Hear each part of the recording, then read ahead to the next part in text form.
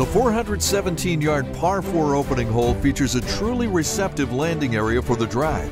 A large waste bunker lines the left side of the fairway, which slopes from right to left. The approach will require a mid to short iron to this large green protected by three signature bunkers.